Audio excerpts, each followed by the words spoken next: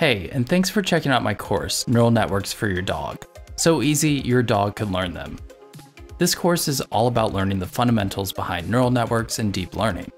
How do they work? Why do they work? Where do they shine? And where do they fall flat? The way we're going to figure these things out is by coding up a neural network from scratch in Python to recognize handwritten digits from the famous MNIST dataset. So, what separates this course from the dozens of other courses explaining neural networks? Well, it really comes down to fundamentals.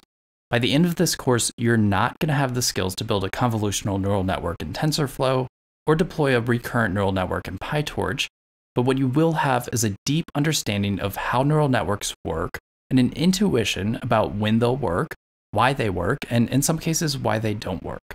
I mean, odds are most of you finding this course have some idea of what a neural network is, but even if you've watched a couple videos and read a couple articles about them, they probably still feel a little bit like a black box. If I asked you to code a neural network from scratch, could you do it? Probably not. So that's what this course is about getting that deep, intimate knowledge about the fundamentals of neural networks.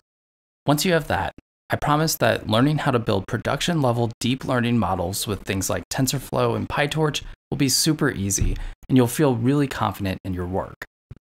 I should warn you, we're going to use a lot of math in this course, but I've worked really hard to explain everything in great detail with examples and visual explanations, so don't let the math scare you. With that, I hope you'll stick around and take my course. As always, feel free to reach out to me if you have questions or comments.